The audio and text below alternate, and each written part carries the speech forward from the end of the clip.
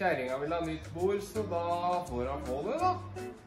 Kjøper jo ikke bord. Det lager vi sjøl. I hvert fall jeg.